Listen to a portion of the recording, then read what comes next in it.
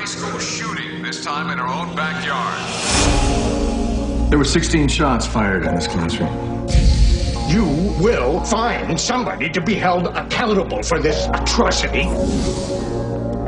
Who is that? That's Alicia Browning. We still have a student in the hospital. Deanna Cartwright. Can you go see her?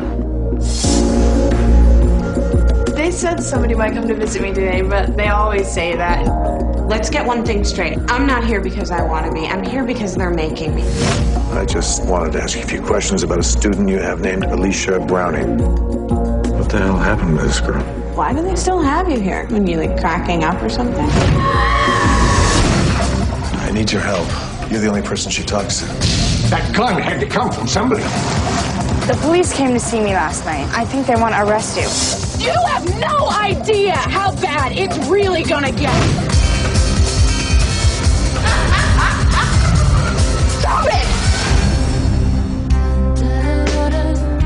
You've learned something that, as adults, we hope you don't have to deal with until you're much older.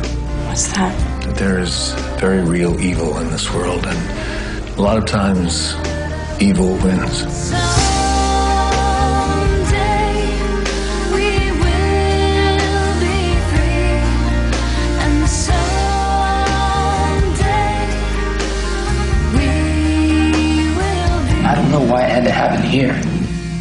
It, it's homeroom.